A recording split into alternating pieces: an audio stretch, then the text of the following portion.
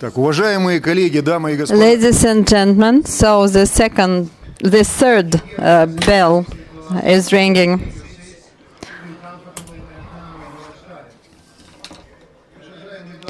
Ladies and gentlemen, good morning. My name is Sergei Markedonov. So we're starting today. So my name is Sergei Markedonov. I'm leading research fellow at the Euro-Atlantic Security Center of the MGIMO Un- Institute for International Relations. I'm your moderator now at the second session. So we are moving from Greater Eurasia to a limited notion of New Eurasia, and we'll focus on the post-Soviet space and on the processes taking place there. Can we talk about the erosion of the post-Soviet praise. We we can witness it and an emergence of a conditional world of stability and instability. Or it's too early to bury the post-Soviet space because uh, we still are connected with our, our Soviet space, and uh, we appeal to our past. We revisit our past. So we'll discuss uh, how the Eurasian integrational projects work here, how they uh, in, are interconnected or not, whether the integration is possible or is it just a dream and everything is much more compet- complicated and uh, much and will have a much tougher environment. So these are an area of issues we're going to discuss. Let me introduce our speakers, our panel panelists.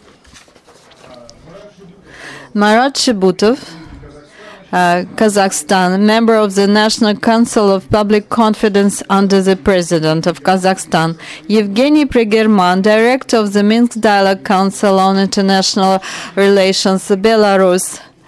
Uh, my two colleagues from MGIMO University, uh, Nikolai Silaev, leading research fellow at the Center for Problems of the Caucasus and Regional Security of the MGIMO Institute, and uh, Evgeny Minchenko, director of the Center for Political Elite Studies and our guest from uh, uh, Uzbekistan, Ulugbek Khasanov, professor at the University of World Economy and Diplomacy of Minister of Foreign Affairs of the Republic of Uzbekistan, Alexander Iskandaryan, director of the Caucasus Institute in Yerevan, the last but not least, Andrei Yermolaev, uh, philosopher and head of the Sofia Strategic Group from Ukraine.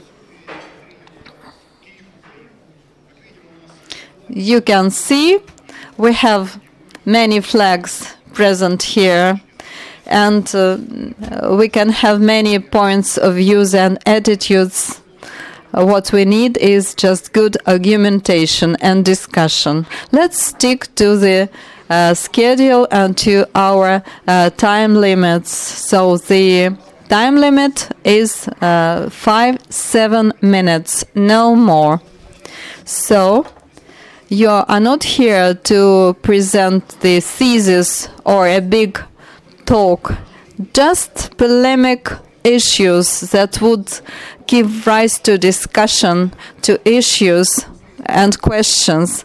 And later we may use our discussion uh, in writing our fundamental research papers.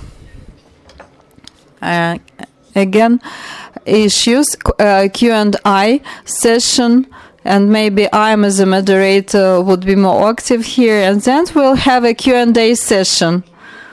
So we have to uh, to end our discussion at 1325. Uh, because we have to stick to our schedule and to have lunch. And we can continue our discussion during a lunch break. Uh, of course, it's uh, more important and it's a more serious challenge. So now, without any monologues, I give floor to Marat Shibutov, member of the National Council of Public Confidence under the President of Kazakhstan. Thank you very much for the floor given to me. So I uh, I can see that uh, I should be very brief and tough at the same time. Yes, you're quite right here. I agree with you. So, my main topic is, as the topic of this session, both for the elites, governments, and the academic community, and for the population of the post-Soviet uh, countries, is the uh, this dilemma, this choice to get rid of uh, the uh, died horse, dead horse, because we are uh, we still st- we stick to old stereotypes, biases that uh, do not allow us to move further. SCO is just a dead organization.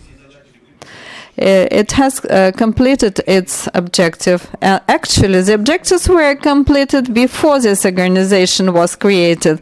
Uh, as far as uh, CIS, it's also that organization and its uh, main obstacle on the way of developing post-Soviet Eurasian Economic Union.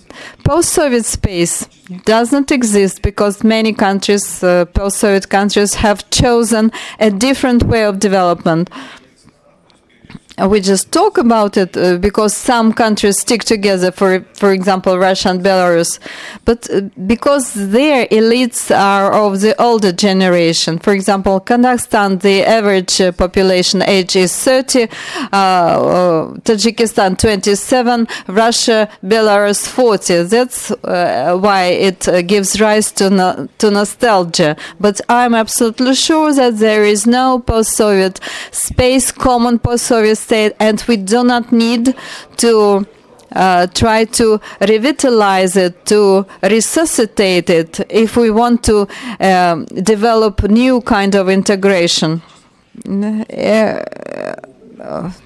today we uh, we talked about uh, the interaction between uh, China and uh, the uh, Central Asian countries, you know, the the volume of trade turnover is not that important. So we do not produce any technologies that would be in high demand in other countries and globally. That's why now we have to review and revise our approaches for example, mm, uh, uh, we have uh, too many paper accords and organizations. So now we have to understand that the only alive structure with the uh, potential of development is the Eurasian Economic Community of Union, and that would should be the focus of the integration. But before we start this new kind of integration, we have to disintegrate with the old structures and vehicles. F for example, uh, the free trade zone of CIS countries. So when we get rid of all these obsolete standards organizations, then we'll be able to re-sign and reconclude our treaties accords with Ukraine, Azerbaijan, Georgia, and other countries. Then we can understand what we really need from them and what they need from us. And here, I'd like uh, to call on you to uh, measure statistically to use uh, qualitative measurements because we are just uh, use now Stalinist narrative or rhetorics about the uh, friendly and fraternal people. The Soviet Union uh, is dead for more than 30 years and we should forget about the past. So most say that we stick to that we are political realists. So then let's be uh, realists in reality, not just uh, uh, in words. Let's show it in deeds. Marat, thank you very much. Uh, you just stuck to the schedule. So, so your presentation uh, is in the spirit of Lenin. Before we can get together, we have to disintegrate. Uh, and as Tolstoy also said, we have to uh, show what uh, people are in the end countries' relations are in reality. And for this, we have to get rid of all disguises.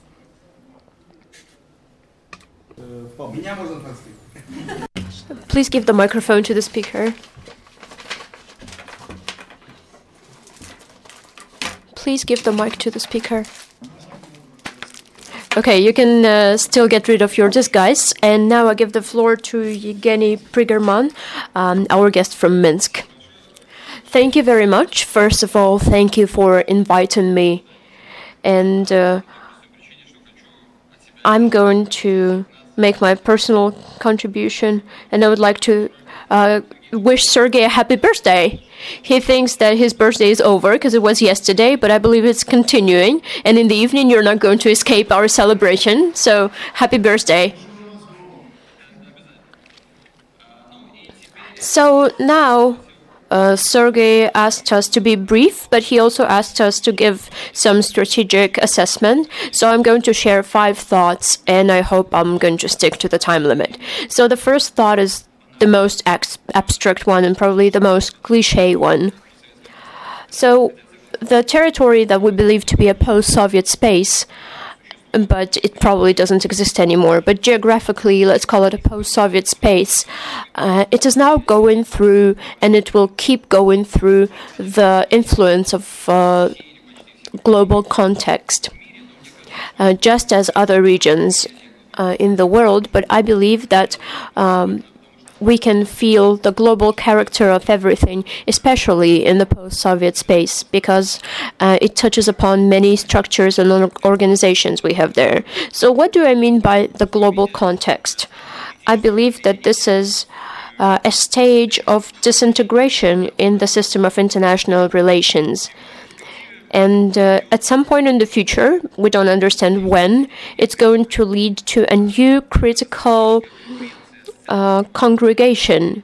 And uh, this competition with centers in Washington and Beijing will structure everything else, but we don't know how.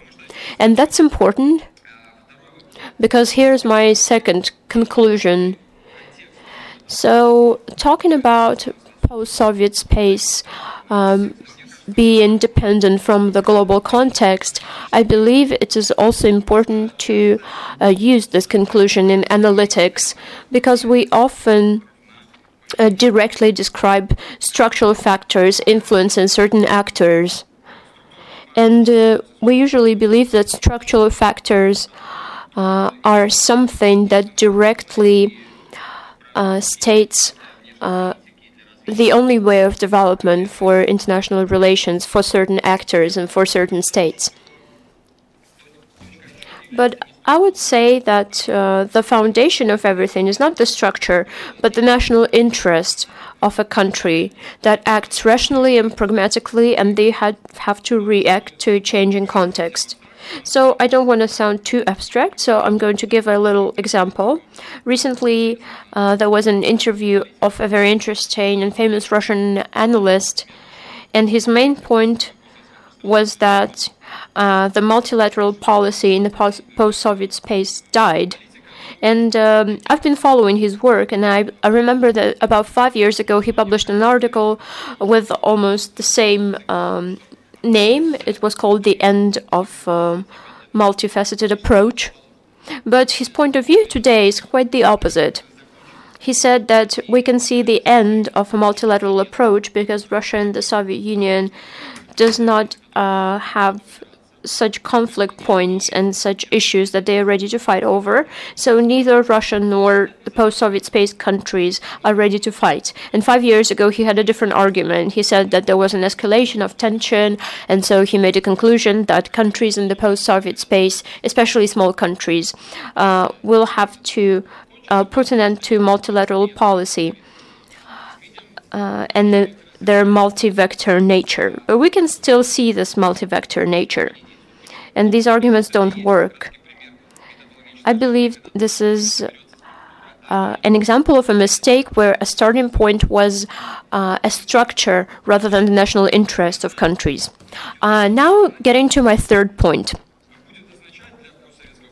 Uh, everything I said uh, will mean a certain ambivalence for the post Soviet space, especially when it comes to the vision of uh, the strategic um, steps in the future.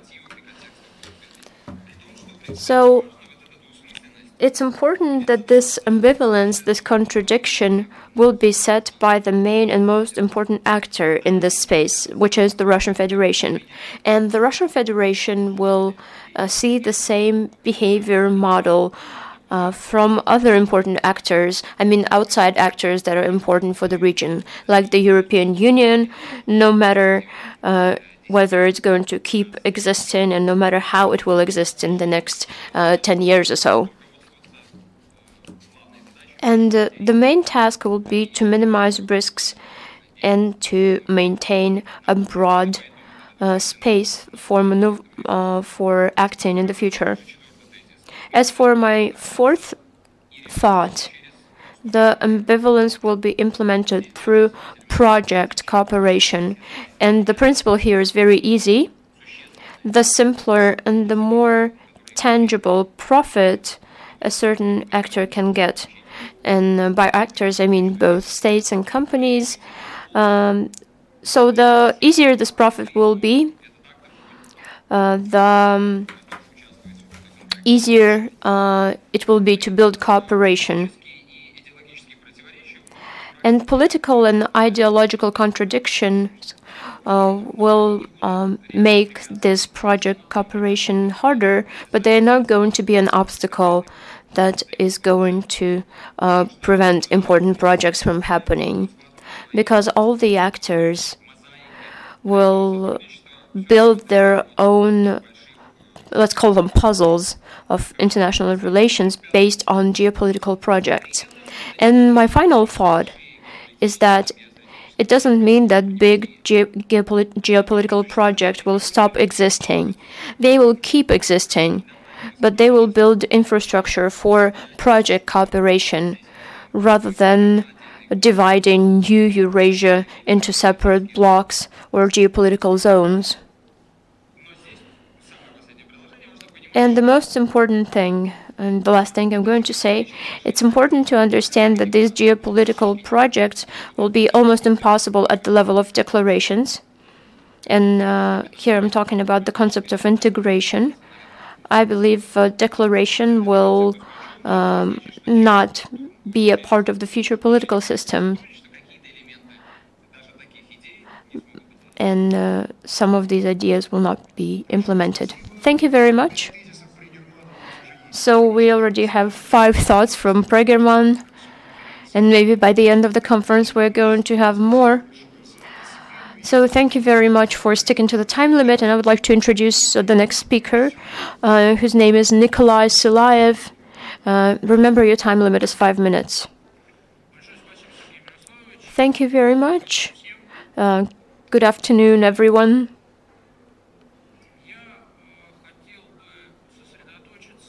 I would like to focus on the place of post Soviet space in Russian foreign policy. From the doctrinal point of view, everything is quite obvious. In all the doctrinal um, documents, uh, the post Soviet space, aside from the Baltics, that's already not considered part of it, are a priority for Russia's foreign policy. But if we compare the resources and the efforts uh, in the post Soviet space and the resources and the efforts uh, that are spent uh, uh in other foreign countries, uh, it is hard to compare them. And for Russia, the relations with the US or with China uh, turn out to be much more important than with post Soviet countries.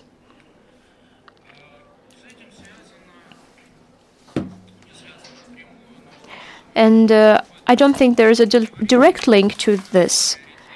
But we can see that there is a real priority and there is a doctrinal priority. And uh, there is one more factor in foreign policy that has an influence on it. And we can especially see it after 2015, after what happened in Syria.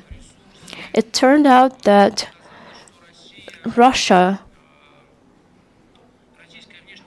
Russia's foreign policy is more effective in terms of acquiring the status of a great power, and uh, it works better abroad rather than um, in the post Soviet space.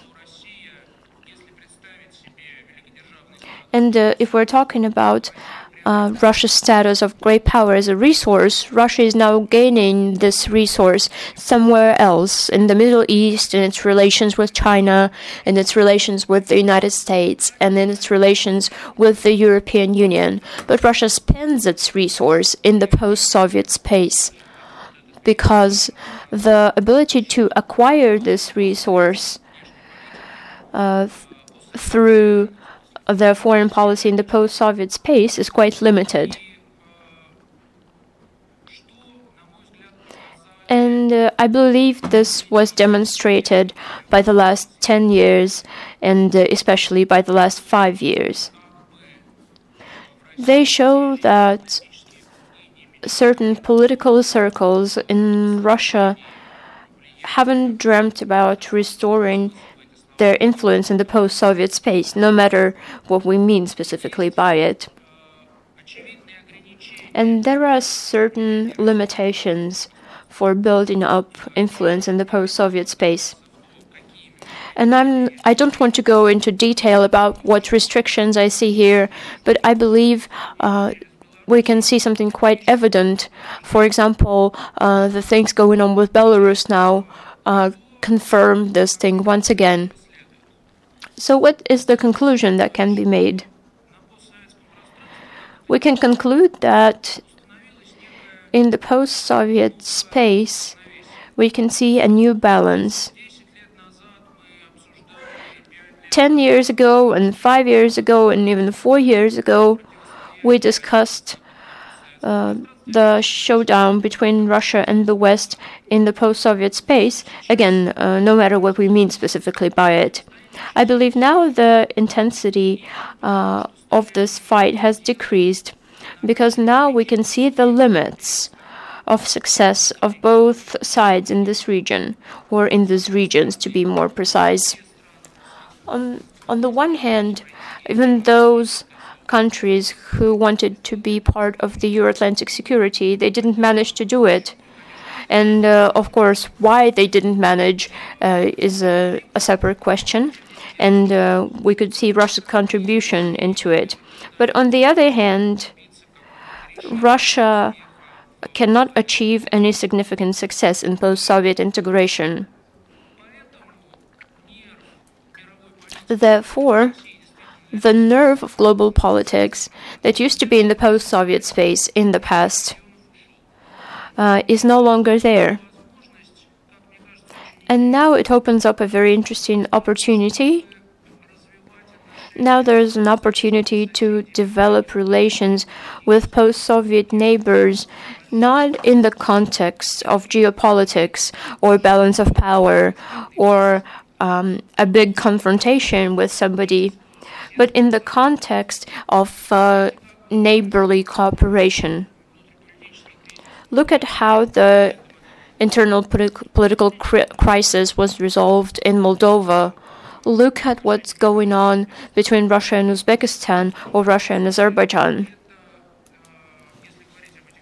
If we're talking about these two cases, we can see integrational initiatives from both sides, but these initiatives don't imply institutional integration. We're talking about expanding trade and economic cooperation, but the sides do not assume any geopolitical obligations.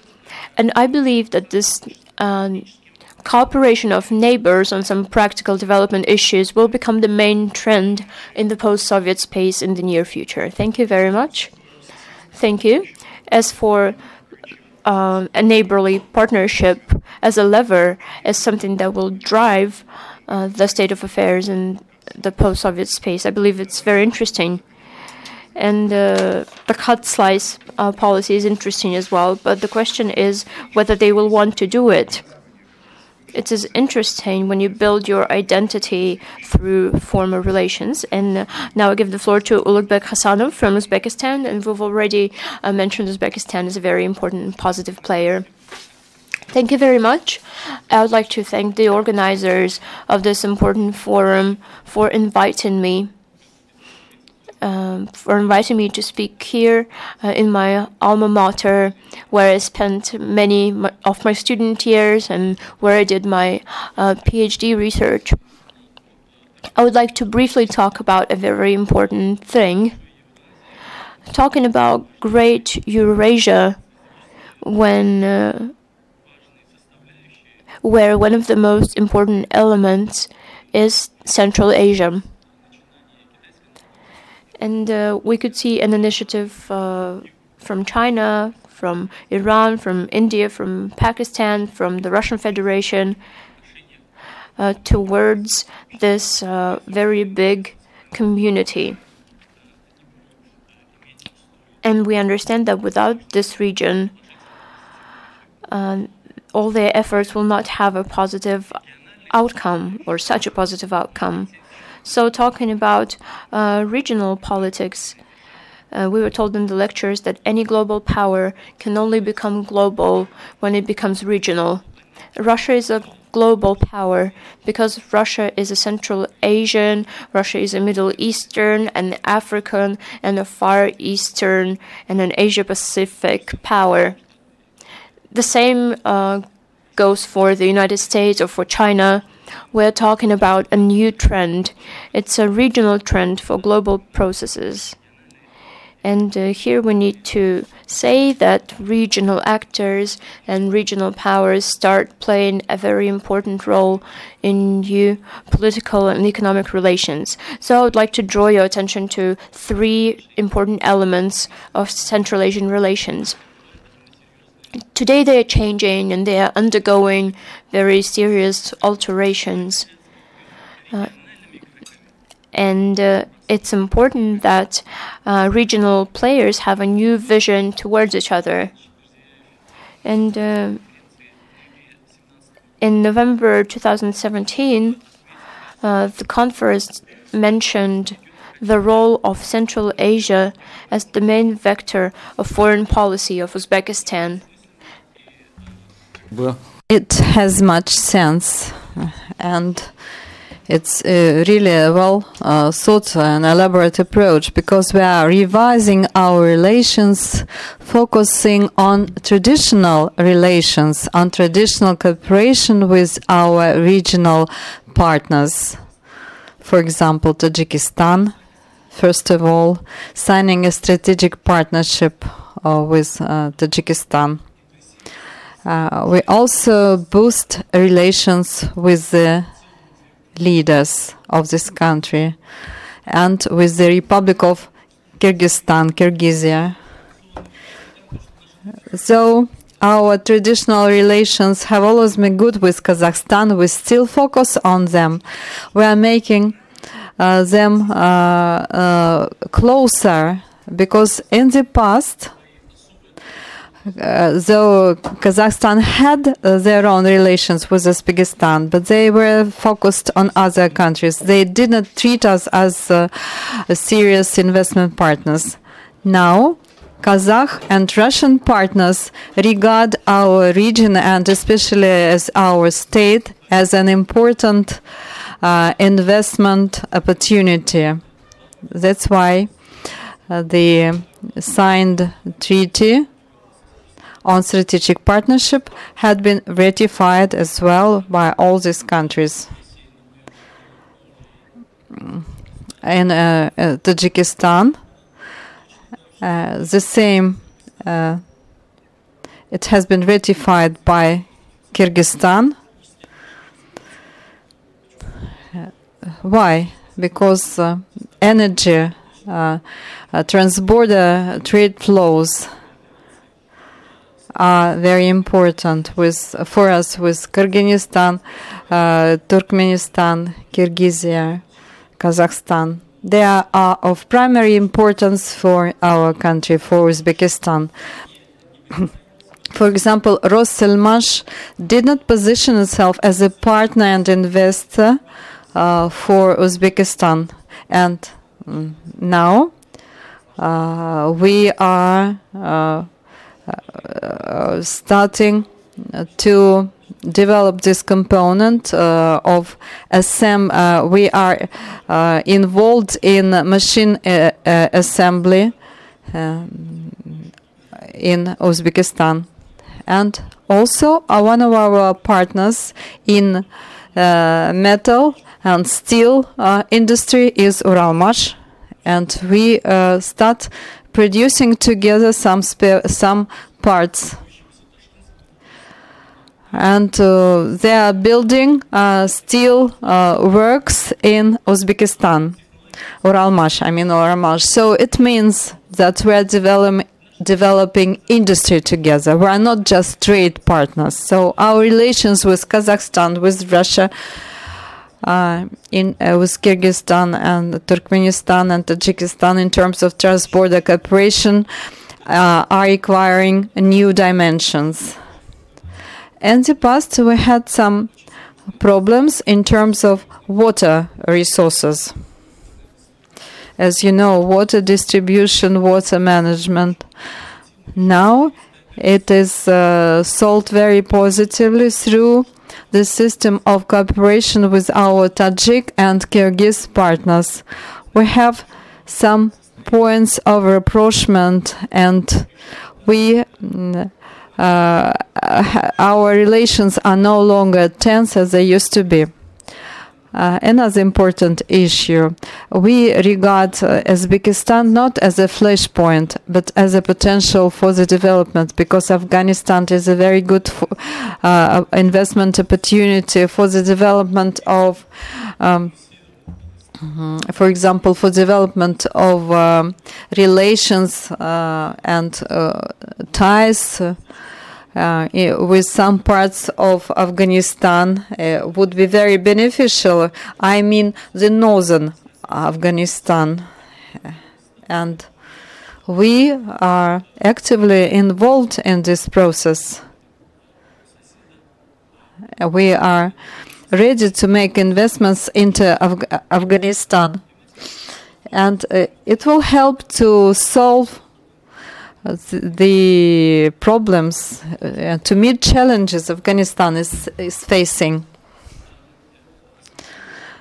So, because we regard Afghanistan as uh, a format to the or as a site to develop social and economic relations. So that's uh, uh, what I wanted to uh, talk about. Thank you very much. It's just an X-ray test. You've just uh, showed us a case study, and uh, you've talked about very interesting aspects when we talk about post-Soviet uh, space, usually the Central Asia is connected with the Caucasus. But now, so uh, my the floor is given to Alexander Iskandaryan, director of the Caucasus Institute in Yerevan. Thank you very much. So the the question is if uh, there is life on Mars uh, so, is there a post-Soviet space? Common post-Soviet space. I'm not going to be that radical, as they usually say. Uh, it depends. I'd say it depends on the area. For example, geography. Of course, we do exist in geographical terms. Though it's just a manner of speech, which is not perceived critically. How can we can talk about the geographical unity from Moldova to Kamchatka. It's very difficult. Of course, when we had just one country, the USSR, we could talk about that unity, but it was supported quite artificially. Let's move on to culture. Yes, there are some spheres, for example, uh, some salads, Olivier French salads I used to. But still, we can see changes taking place in this area as well.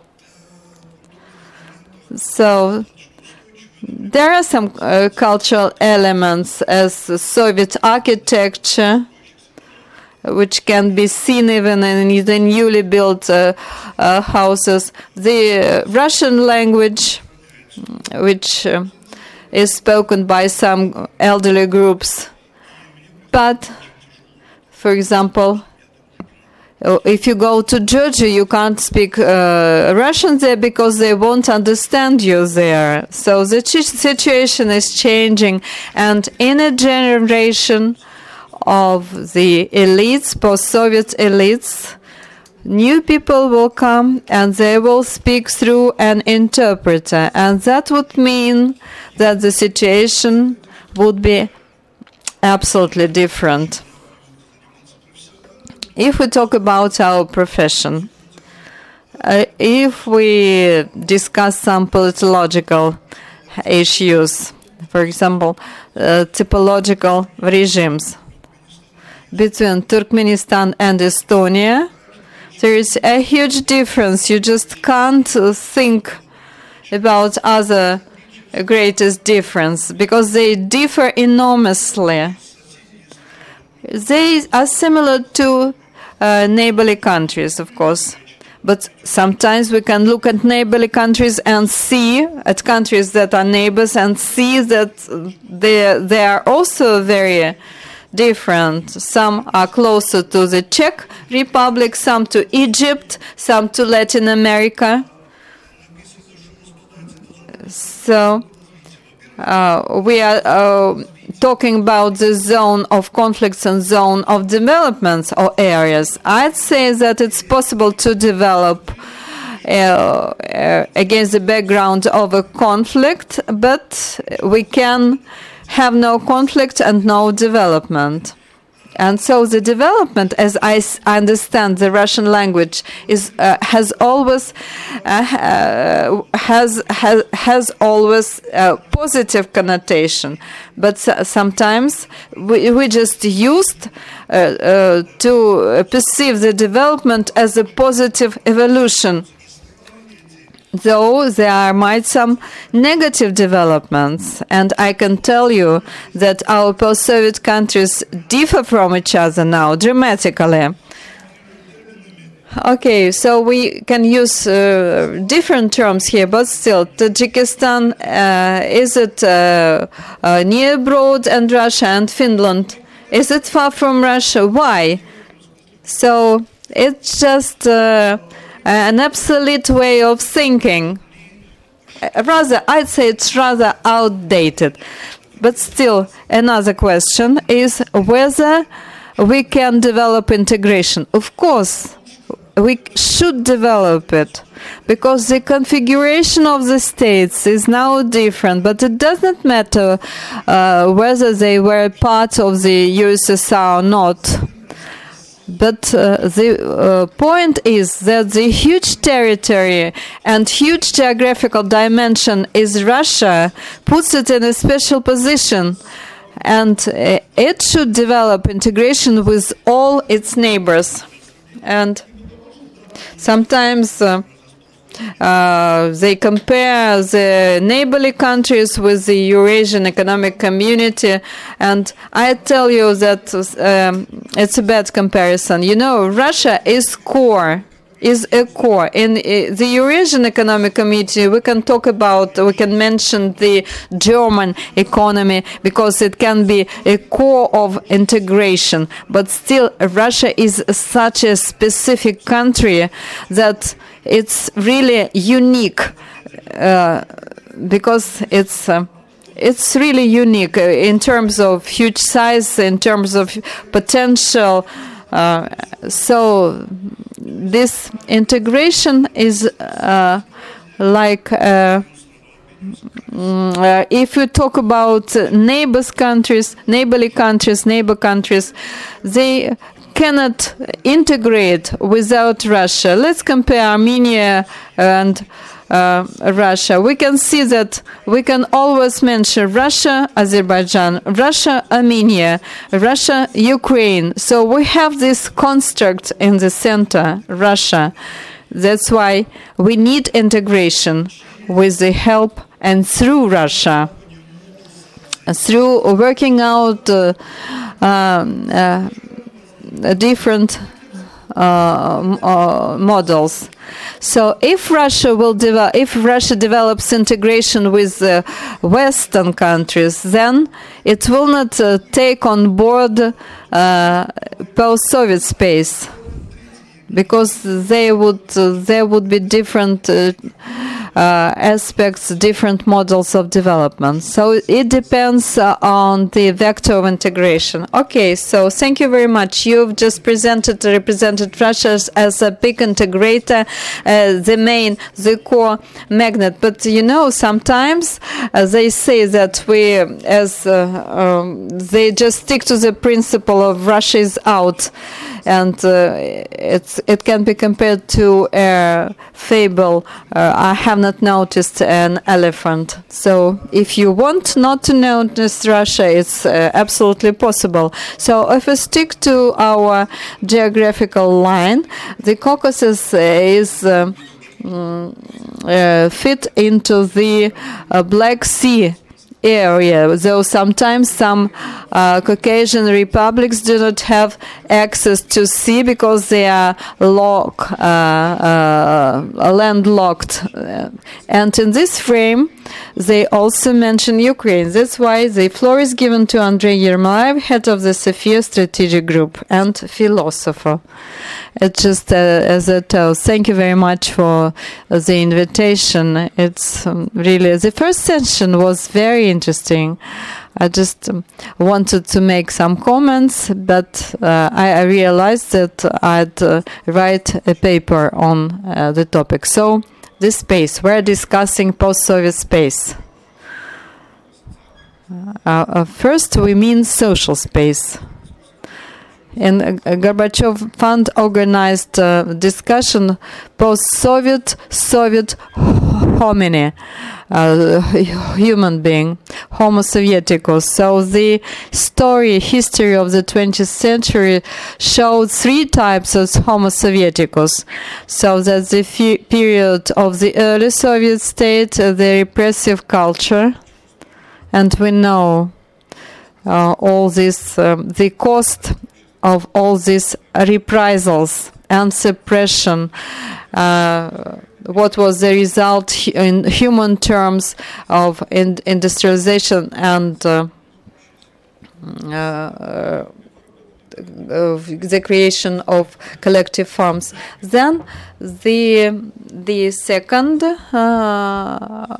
model, uh, administrative capital, capitalism, and a different time of Homo Soviet, Sovieticus. And today, uh, what we can see, those who have this uh, uh, those who know these uh, cultural codes and practices, uh, the salad of uh, Olivier, French salad, uh, and so on, um, they are dying out. They are becoming extinct.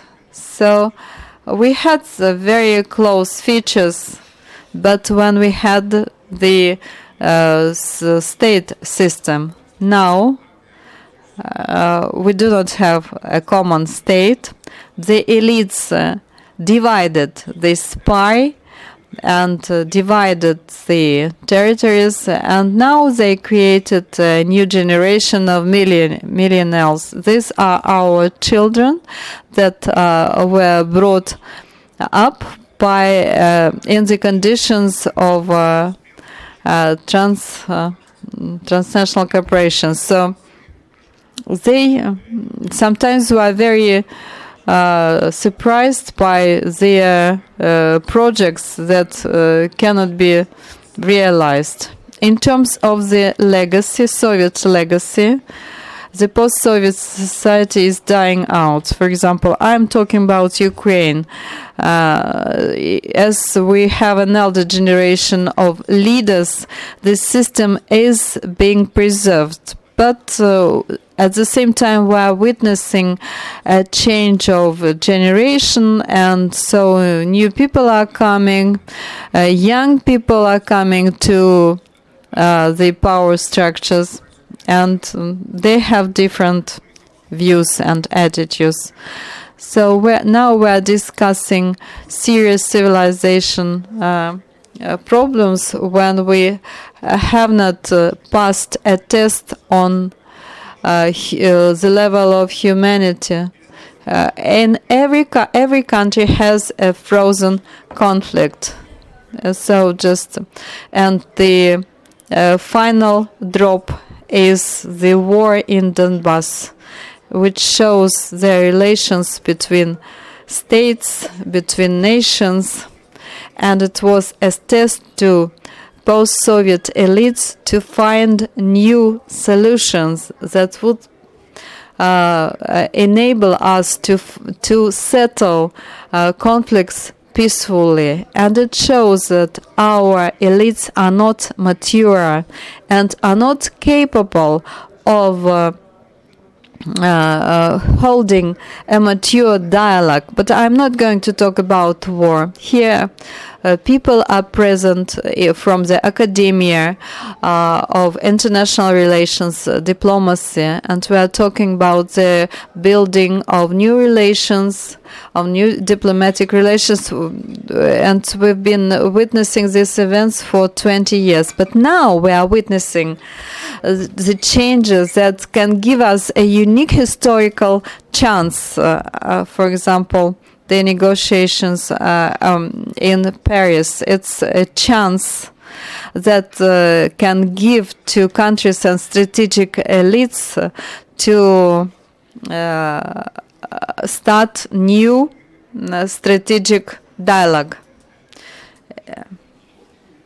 What so now we can see a political crisis escalating and uh, I hope that it will not escalate much further. But this is a test for us about how we can cope with this work, about how we can connect different projects with the current reality.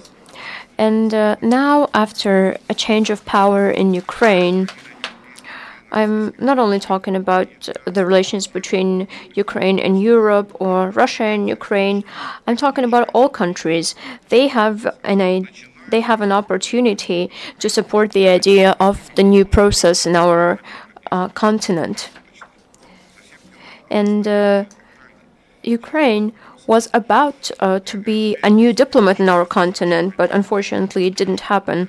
I understand that my time limit is over, but I just want to say two conclusions that might be of interest to you. Uh, what we are going through now is the second transformation crisis it's a crisis of the system, and it can be compared uh, to uh, the first crisis that uh, led to the dissolution of the Soviet Union. But unfortunately, the main characteristic of a transformational crisis is uh, the dissolution of economic and political institutions and their deformation. In countries that have a mobilization model, uh, experience this crisis in a softer manner, but countries that have political competition uh, face upheavals and major shocks. At the same time, we're going through restructuring of uh, old institutions. And uh, sometimes uh, the competition for elements of this uh, industrial system looks like an internal fight for resources. And uh, the industrial resource is bigger than the demand in production. Therefore, we can see the destruction of uh, the of a big part of old industry in Donbass. And when the war started, one of the people I know asked me, "Do you think this war in Donbass, aside from being a conflict, aside from uh, having to do with international relations, do you think it's an attempt to destroy uh, a very big powerful economic factor, uh, which is the Ukrainian industrial complex.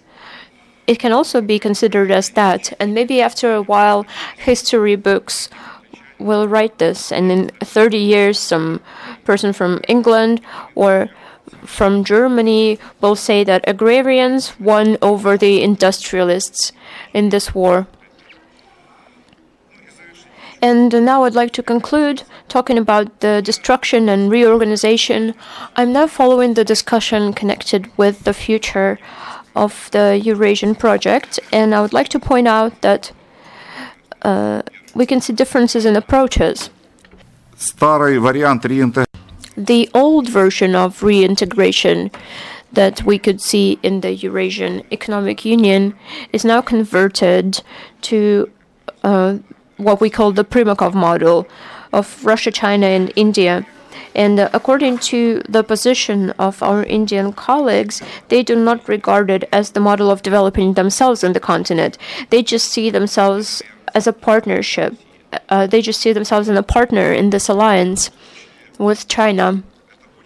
But in any case, it really reminds uh, me something that will not form the new Eurasia, but will form the alliance that is now contradictory and confrontational towards Europe. And uh, one thing that seems quite appealing is the uh, the idea of a great continent that can unite big infrastructure projects of China, Russia, uh, who now uses uh, its communication opportunities and its resources, uh, and Europe. It is quite a different approach that would really allow to find a formula that would be discussed not only in the Eurasian Economic Union, but that would also be discussed in the platform of cooperation between Russia and Europe, between Russia and Central Europe. This would be a great opportunity to uh, create a model of cooperation in the whole continent. And uh, there were many wars and conflicts, like the Karabakh conflict, the conflict in Transnistria and uh, taking into account the discussion that is now aimed at bridging the differences between Europe and Asia, we really need the idea of new Europe, Eurasian thinking. And then it's not going to be China and Russia against the West.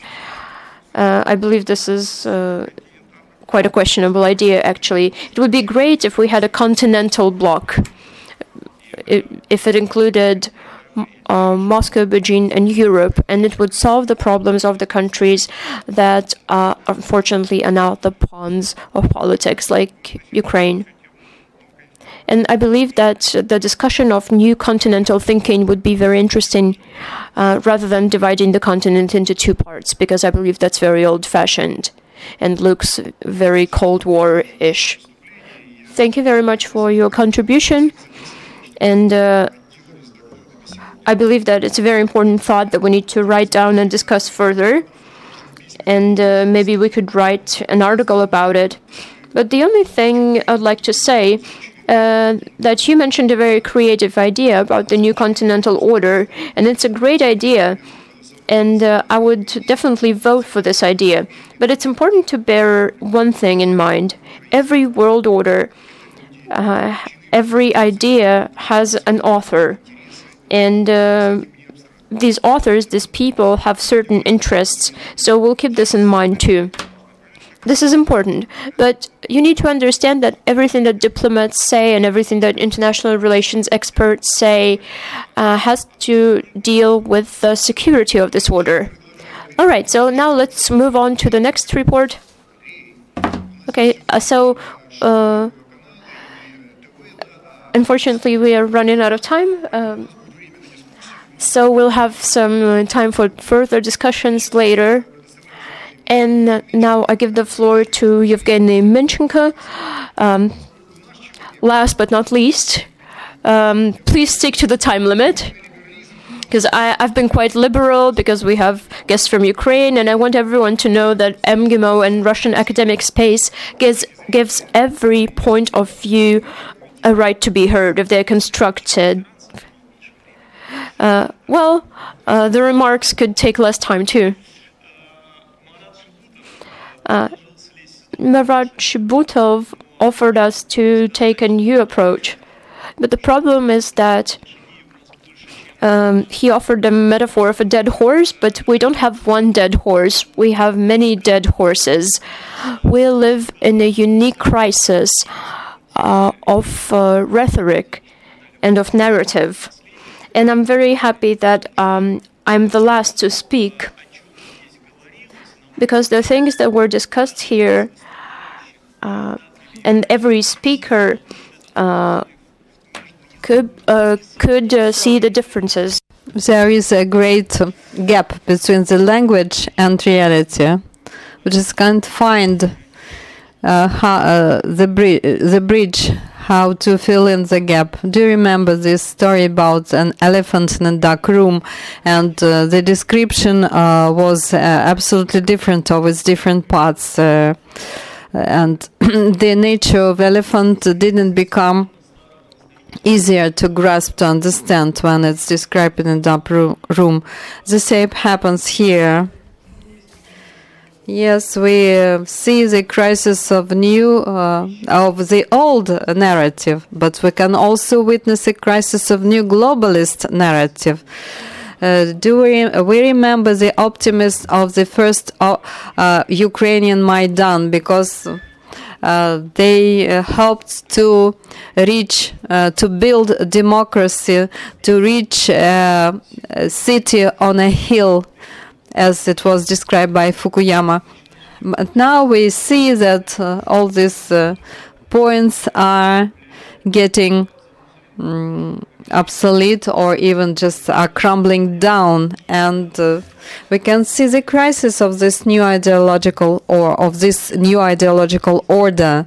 The same uh, can be said about the russian opposition now uh, now they're saying we are different people we are sort of aliens we have a different ment- mentality but who are there vis-a-vis in ukraine uh, new race in Ukraine. Just the fighters uh, from the uh, battalions, neo-Nazi battalions that can do anything they wish uh, with the uh, residents, people living in Donbass. So you see, we can still feel this attraction of the West. I just made uh, held a short survey in my channel. So uh, the president of Russia 2024, whom should he resemble? Uh, resemble of what leaders of the 21st uh, century? It was Lee Kuan Yew. And if uh, we take the current political leaders, then the answer was do, do you have any ideas? Trump, the third place, and the, the first place, Xi Jinping, China. So there is an attraction of the Asian authoritarianism, though this trend is also going down because if we look into the elites of the post Soviet countries, they feel uh, some disappointment uh, with in the cooperation with China. Uh, as now we are talking about Russia's pivot to east, but those countries have done it earlier, and now they feel a little bit disappointed. Now the uh, language of national egoism is becoming more dominant in the world, which is quite extensively used by Donald Trump and Modi, for example, and China as well. So, big global projects, uh, but uh, they serve national egoism. Maybe we should uh, have the same attitude we should become more egoistic. We should uh, proclaim our own interests. And sometimes we have problems here because sometimes we do not know what we really want. And national elites sometimes do not know. Also, a problem is the generation gap.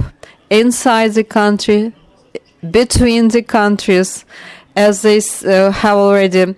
Uh, as has already been mentioned today, that there is an older elites uh, in the post-Soviet countries and younger elites coming to power. Uh, for example, in Moldova, Moldova, Ukraine, and possibly Belarus.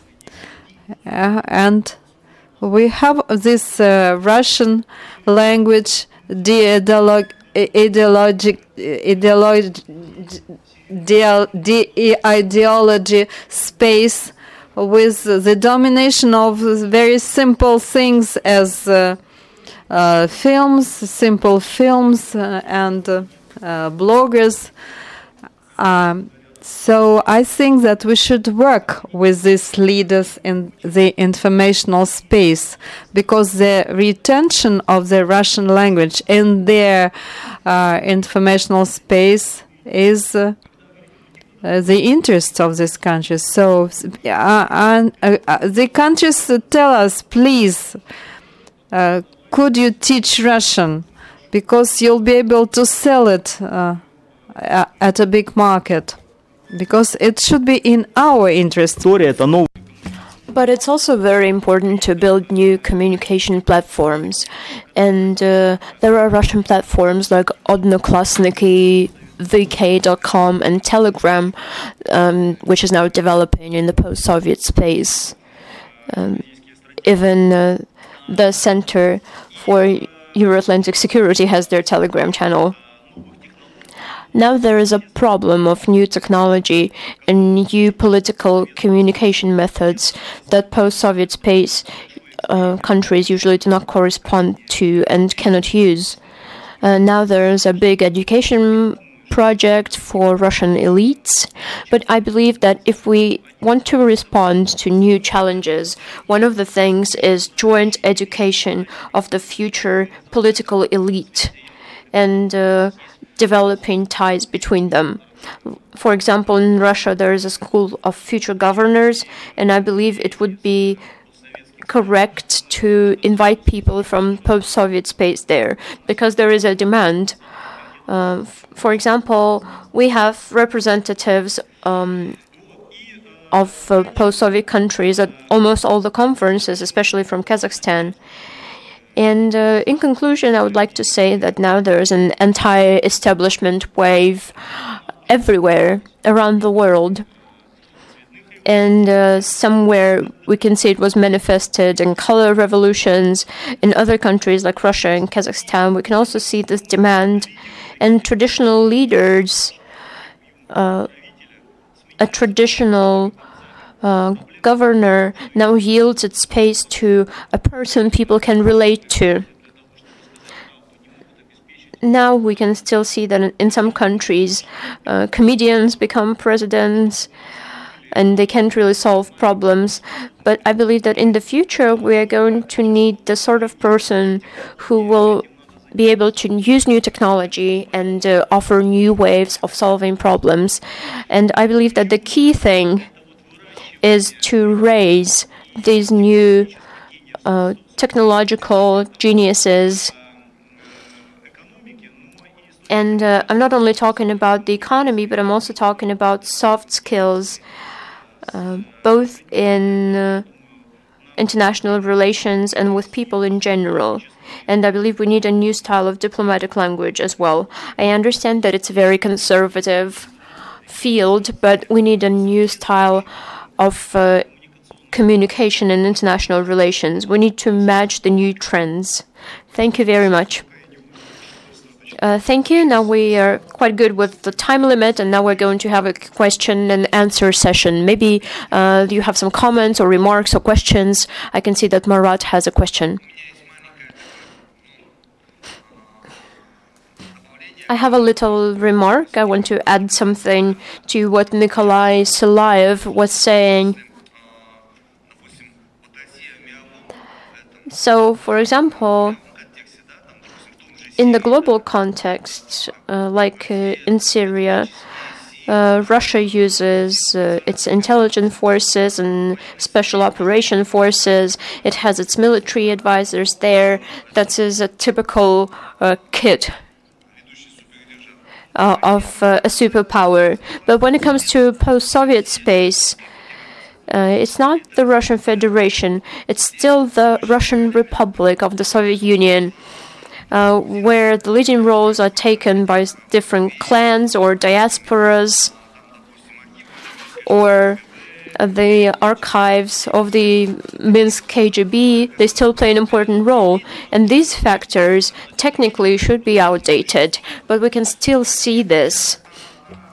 So, Russia is one country when it comes to um, international relations in other countries, but when Russia is in the post Soviet space, it acts completely differently. And I believe that Russia has to deal with this problem in uh, post Soviet countries as well. Thank you very much. Uh, Nikolai, would you like to give a comment?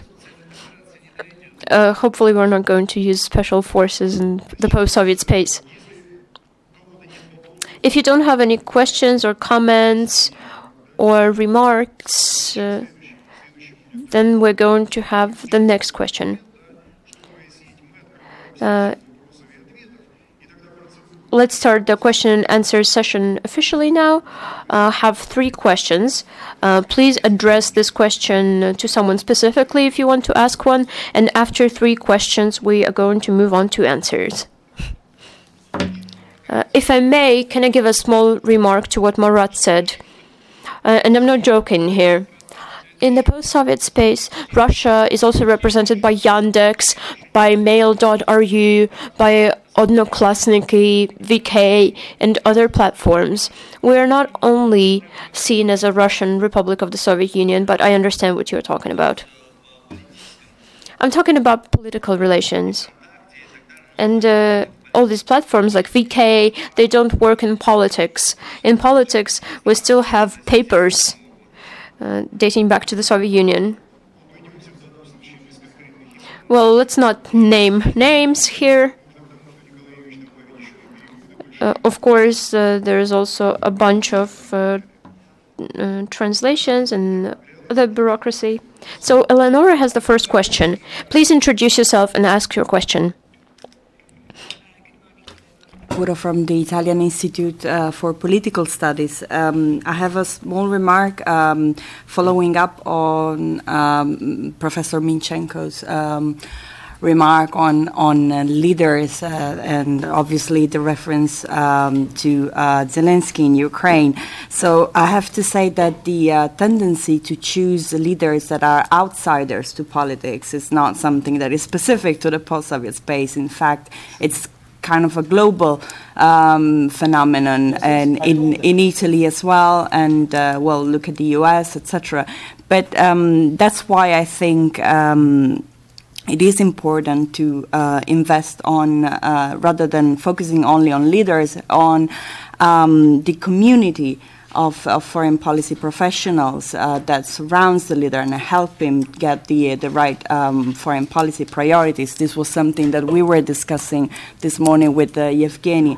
And um, I very much appreciate the type of uh, programs that you suggested with regards to leader formation, but um, maybe the key is to invest on, on, on a broader community of foreign policy um, professionals. Спасибо. Так вот, вы, по-моему, Thank you very much. Uh, I believe you want to make a comment as well. Good afternoon. My name is Iqbal Guliyev. I'm Vice Director of the International Institute of Energy Policy at MGIMO University.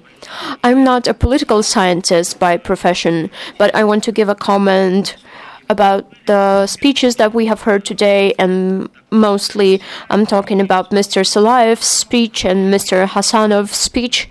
I really love the idea of Mr. Silaev that now one of the main trends is neighborly cooperation on practical issues. And uh, you were saying that there are relations between Russia and Uzbekistan and Russia and Azerbaijan. Then Mr. Khasanov was talking about Uzbekistan and Tajikistan, Uzbekistan and Kazakhstan, and so on and so forth. And in all these forms of bilateral relations, uh, energy plays a very important role. And uh, for me, it just proves once again that nowadays um, energy and uh, cooperation in energy is a driver of regional cooperation in the post Soviet space, so we shouldn't forget about it. Mr. Iskandaryan said um, something that made me drew uh, this on a piece of paper, and uh, on top you can see Russia there, and then you can see other countries, and we mustn't forget that. Uh, there can be different triangles and rectangles without Russia. So we should also take this into account. And uh, continuing your thought on development, uh, developing what we have in the post-Soviet space, we don't, we don't only have positive development, we also have negative development. Like the, there is a development of different diseases and other negative things, but we mustn't allow this development to dominate.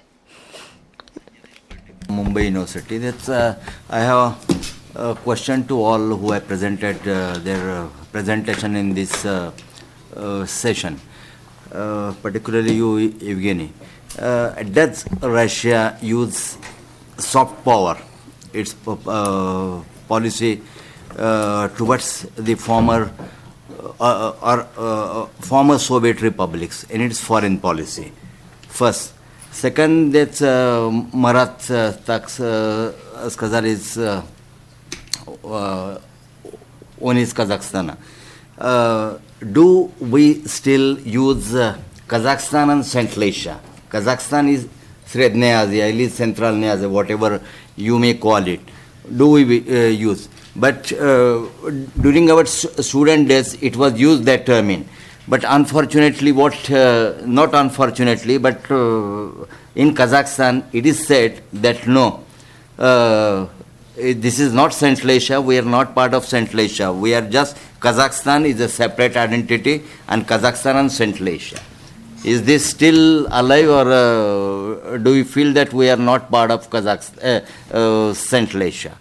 And one small remarks about this when this uh, three countries Russia, uh, India, and China. These are three, they use, they, they are, uh, maybe their ego play very ego and nationalist Uh, mind play a vital role in the foreign policy.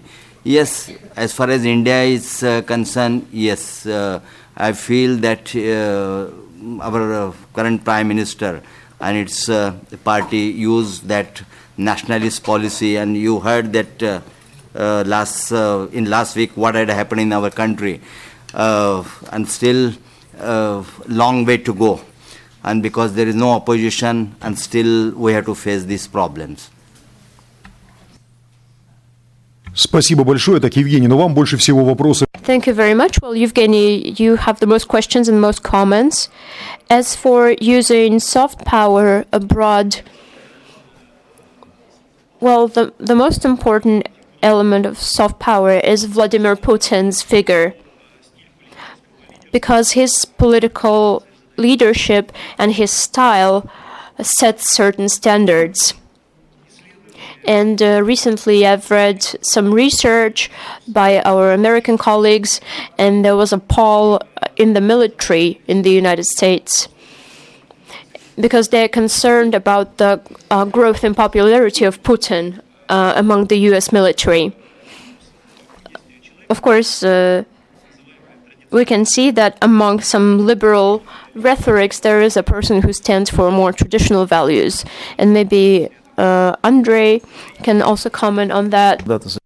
I just uh, uh, looked into the data on the survey on Ukraine. So uh, leadership styles. Again, uh, Putin won. So his style is very popular with uh, the people from different countries. Another important tool is the Russian system of mass media. RT, Russia Today, first of all. And the third point is just unconscious format uh, which means Russian culture, Russian informational products. It just sets the tone, sets specific standards.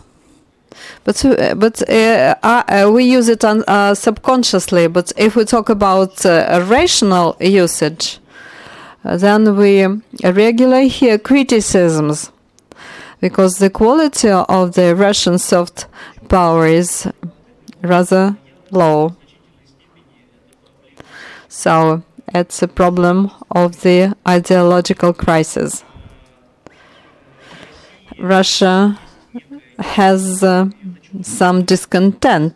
Is it is uh, brewing has been brewing for some certain period of time, and uh, President Putin expressed it in his Mun- Munich speech. So we are discontent. We are not content. But what are the values we want to convey?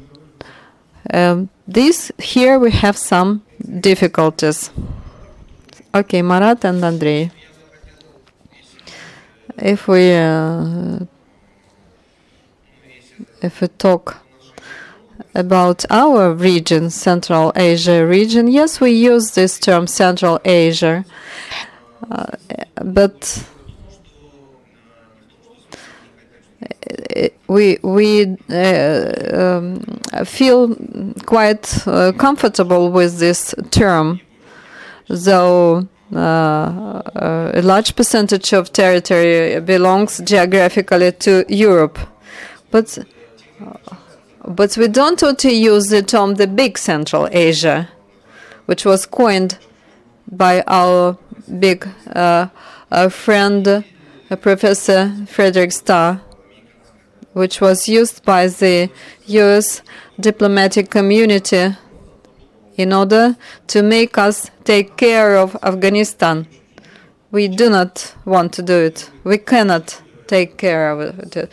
So we prefer to work with Afghanistan at our own terms and conditions and in those areas where we uh, feel we can make the difference. We, we just don't want to uh, grant uh, humanitarian aid to the collapsed state. Thank you. Okay, so I'd like to make uh, a focus on three points. The first, the change of generation, generational change we are talking about, and we are analyzing a new typology of uh, leaders. And it relates not only to the post Soviet space, uh, that the generation which was raised in our states, uh, uh, national states, came to power. But uh, it just um, the epoch by Mitterrand, Kohl, and Gorbachev uh, changed by a new generation that was uh, raised in the conditions of consumer society, the society of consumerism. So, and in some uh, societies, uh, there is still a traditional uh, uh, attitude reigns. So that's why there is a conflict between these two attitudes. It's actually a unique moment of global revolution. Uh, so the old traditional and um, traditional politicians are replaced, are being replaced by young politicians. But my question is whether we should uh, somehow uh, f- uh, feed them and uh, raise them and breed them and educate them. So you know, just oh, if we just allow people from the street to, to come to the power. Uh, it shows that they these people do not have a high professional level, do not belong to a system, and so uh, they just uh, camouflage with uh, technology, good slogans, and they are in power actually this wave uh, just uh, so strong that we can't uh, stop it we uh, just uh, use the uh, as Aikido principle, use the principle of Aikido, or do as surfers do. As French elites understood that they cannot reproduce, they just made an experiment with Macron as a populist politician. But this populist way is inevitable, but it will pass, and new leaders will uh, use these new populist tools. It, it's a new language. It's a language, a lingua franca, new Latin. But the problem is that still people should be professional and should uh, acquire uh, the required competences. So when this anti-establishment wave passes away, the it should um, we should just uh, have to survive it and to uh, diminish the damage done it. So new people will come and they will uh, have to acquire new communicative tools and uh, should be competent in terms of management and governance. They should know uh, what they are uh, governing or managing. Okay, three years ago, we even could not imagine that one of the uh, uh, core of the opposition would be lesbian feminists. But it's the reality we are uh, going through in 2019. Okay, so new European trends are uh, penetrating into the our new Eurasian space. So, any short questions? Brief, just be brief.